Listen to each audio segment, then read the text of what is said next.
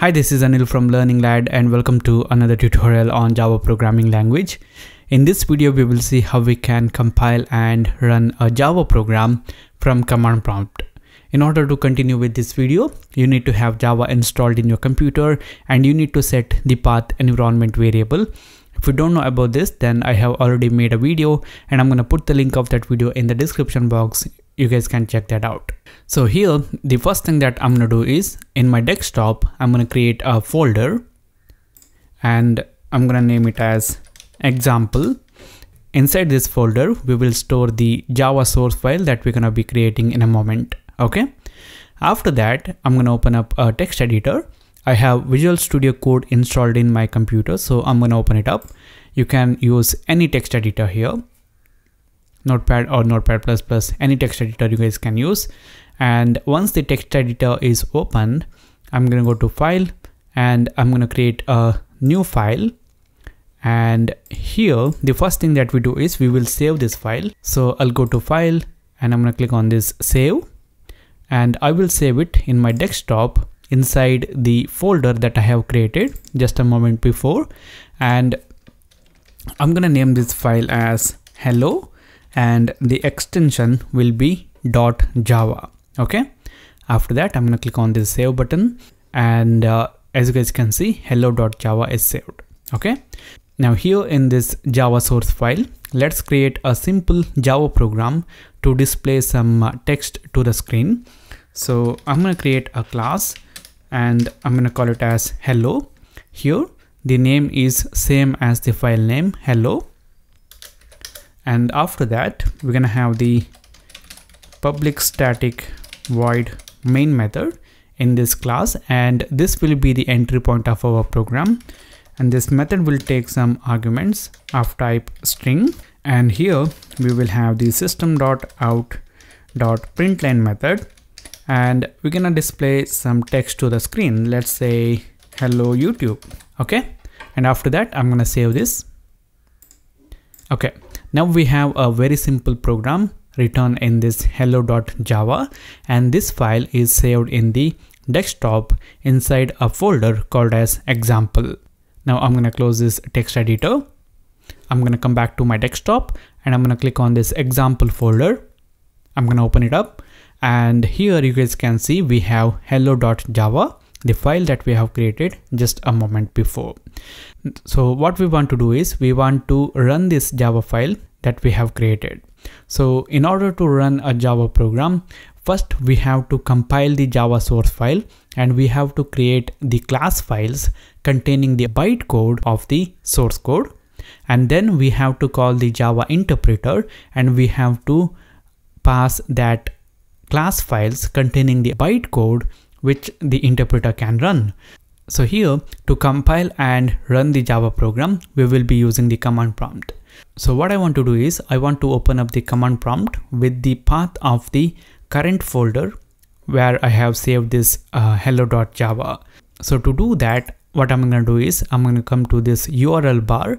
I'm going to click on it once and it will highlight the path and I just want to type in cmd and after that I'm going to hit the enter button and it will open up the command prompt in this folder or the command prompt with the path of this folder. Now you can run the Java program from any other folder but you have to provide the exact path and uh, just to eliminate that typing here I have opened up the command prompt with this path okay so we are in the desktop and inside the example folder. So the first thing that we have to do is we have to compile this Java source file and we have to generate the class file. So to do that, we will call the Java compiler and that is javac. This Java compiler is installed when you install the Java in your computer. To this Java compiler, we need to provide the source file that we want to compile. So here we want to compile hello.java containing the Java source code. So we will write javac space hello.java. And after that, I'm going to hit the enter button in here and it will bring the prompt back. But if we look at the folder in here, we have another file created with the name hello, but the extension is dot class. For every class present in your source file, you will get a class file created for that. Uh, if, you, if you remember, then in our uh, hello.java, we have the class hello. We have only one class and that's why for that class, hello.class file has been generated. Now we have the bytecode in the class file. The next thing that we do is we have to call the Java interpreter and we have to pass this class file so that the Java interpreter can run the Java program.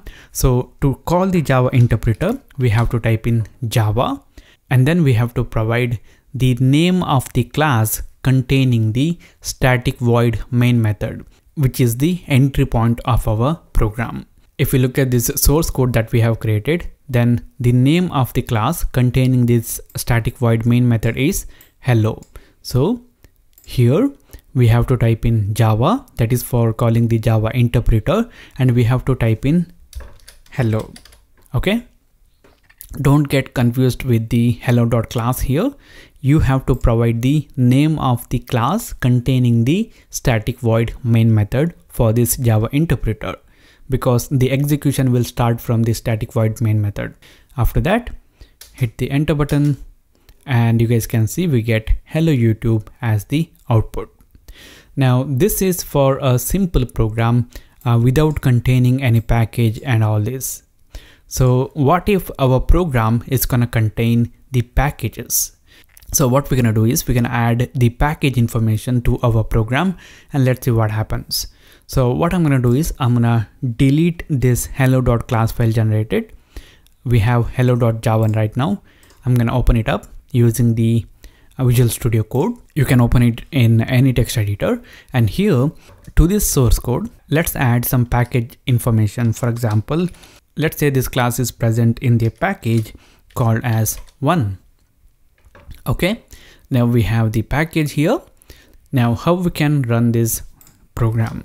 So I'm gonna close it here. If your source file is containing the packages, then you have to follow a, just a bit different approach. So here the first thing that we do is we will open up the command prompt with the path of this folder. So I'm going to go to this URL bar. I'm going to type in cmd and I'm going to hit the enter button and you guys can see we have the command prompt opened with this path. Now the next thing that we do is we will compile this Java source code. Since our source code is containing the package information, what we want to do is we want to compile it and we want to store the generated class files inside the folders with the package names.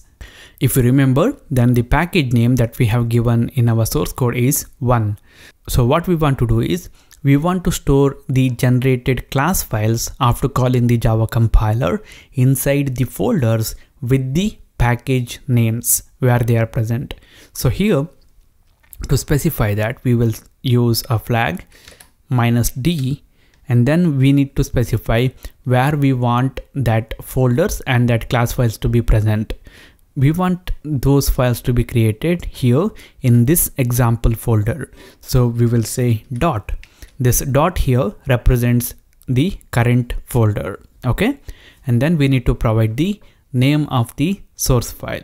So which is hello.java if your source code is containing the package information, then while compiling the Java code, you have to call in javac, Java compiler, minus D here will specify that we want the class files to be created inside the folders with the package names and those files and folders to be created in the following directory. And that following directory here in this case is the present directory from where we are running this program.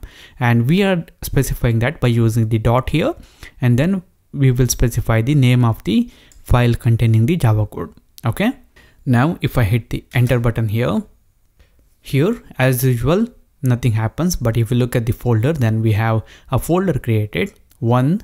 And if i open up that then you guys can see hello.class file. Now i'm going to come back to my example folder here now in order to run this program, we have to call the Java interpreter and the class file containing the static void main method is present in this one folder or inside the package called as one. So we will specify one dot and then the name of the class which is hello. Okay. If I hit the enter button here, you guys can see we get hello YouTube as the output. Now, what if our program contains sub packages? Just to demonstrate that, I'm going to delete this folder one, and then I'm going to open up this source file again. And here, let's add a sub package and let's say 2, 1.2. Okay. I'm going to save this file and I'm going to close this. Now here, um, I'm in the example folder where I have the source file. I'm going to open up the command prompt in here. Since our program is containing the packages, what we want to do is while compiling the Java program, we will say that the class files generated should be stored in the folder. So we will use the minus d flag and then we need to specify where the folders and that files to be created. I want them to be created in the present directory, which is this example folder. And that's why I'm going to use the dot here. And then we will specify the name of the source file, which is hello.java. If I hit the enter button, nothing happens here. The prompt will come back. But in this example folder, if you see, then we get a folder called as one. If I open it up, then this folder will contain another folder called as two. If I open up that one, then you guys can see we have hello.class here. Now I'm going to come back in here. So so what it has done is it has created separate folder for the sub package. Okay. Now in order to run this Java program, we will call the Java interpreter and then where exactly is the class file containing the static void main method is present. And with reference to this example folder where we are at the moment, the file is present inside the folder one and then inside another folder called as 2 and then name of the class is hello. The class containing the static void main method, which is hello, is present in the package 2, which is present inside the package 1. Okay. After that, if I hit the enter button in here, we get hello YouTube as the output. So this is it guys. This is it for this video. This is how you guys can compile and run a Java program from command prompt. If you like this video, then hit the like button.